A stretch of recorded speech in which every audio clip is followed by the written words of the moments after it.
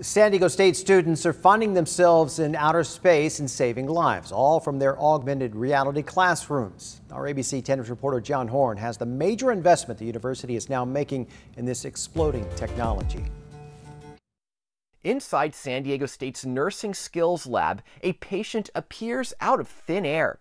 And if the students seeing him through their virtual headsets mess up, he'll die from anaphylactic shock. So what this virtual simulation enables us to do is put students into situations that would otherwise be out of reach, impossible, or in the case of anaphylactic shock, a very dangerous situation. Since the university began integrating virtual reality into its classrooms in 2017, the technology has made its way into 70 classes taught by 56 different professors.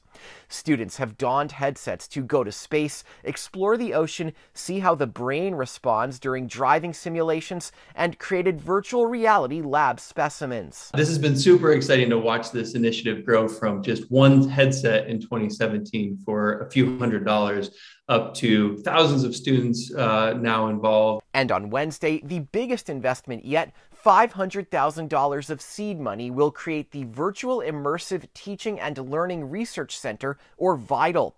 Faculty and staff will involve students for projects to design, develop, research, and engage with extended reality using the latest technologies.